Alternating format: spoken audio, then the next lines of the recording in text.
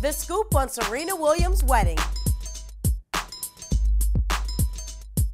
Shh, do you hear that? Well, it is wedding bells because Serena Williams is headed to the altar with her man, Reddit co-founder Alexis Ohanian. Now, from her surprise engagement to accidentally revealing that she was pregnant to her baby shower with friends Lala Ciara and her big sis Venus, the tennis star has been a tad bit on the low. Rumors suggest that the tennis ace is marrying her fiance Alexis today. According to the Daily Mail, the couple will tie the knot at the star-studded bash in New Orleans. An inside source shared that they have hired the best of the best and can't wait to get married in the Big Easy. It's a special city for Serena and somewhere that she's always loved. The pair chose the Contemporary Art Center because of its incredible architecture and history. Now, the hall will be filled with thousands of dollars worth of crystals and flowers. The details of the big day have been cut hush hush like everything else, but hey, there will be an estimated 250 guests arriving, including big names like Beyonce, Jay Z, Kris Jenner,